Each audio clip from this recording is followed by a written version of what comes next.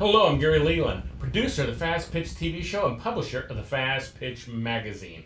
And today I'm here to talk to you about the Glove Radar. I love this device. I used this device when I had a team. This has got to be the most affordable radar that there is, bar none. There, there's, we've shown you other ones that are very affordable. This one is even more affordable than those but it works completely different. It works different than any other radar out there. A lot of people will, will say things about the radar. It's not accurate. Uh, they know their daughter's pitching at 60 miles an hour and it's picking them up at 45 miles an hour or whatever. Well, it doesn't work like conventional radars. The glove radar, first of all, fits on the back of your glove to use it. And every time a ball is thrown to you, you simply click it and reset it and it'll give you the speed. Now, what makes this different than other radars is it really only picks up the speed of the ball about three to four feet from the glove. It works with Doppler radar and it picks up, and it is accurate at that point. It's pretty accurate, I believe, but it does not pick up the speed of the ball as it's coming out of the pitcher's hand.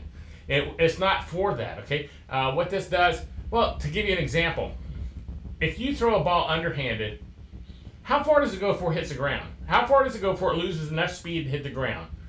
60 feet?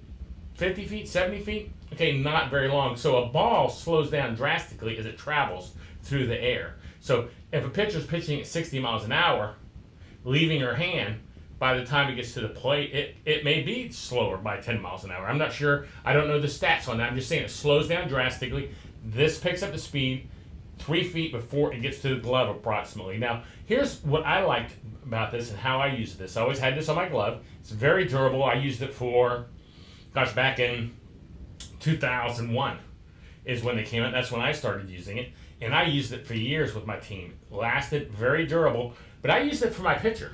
So between game innings, when I was warming up my pitcher, I could sit there and time my pitcher speed and see how fast she was throwing. And if she started that day throwing at 65, and now all of a sudden at the end of the afternoon, she's pitching at 52, or not pitching, but the ball's coming to the glove, as I said earlier, I know that she has drastically slowed down. So it's good for a, a method of calculating how uh, your pitcher's doing for the day. How's her arm going? How much speed does she have left to normal? It gives you a kind of a rating because you're using a guideline. Every time it pitches, pitch one in the morning, pitch 200 Sunday afternoon. It's still measuring the same way. So it's made more of a guideline is how I used it. So I didn't have a problem. I wasn't expecting this to be able to sit on the bench and pick up the glove ball as it came out of the glove. This has a reason, this has a purpose, and it has a use, and is very functional if you know what to do with it. So that's the Glove Radar. I like it. It's very affordable. You can find this at fastpitch.tv slash glove radar, one word.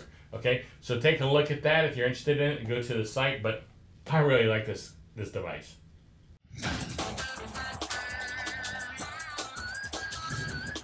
This show is a member of the Fast Pitch TV network. See all of our shows and blogs at www.fastpitch.tv.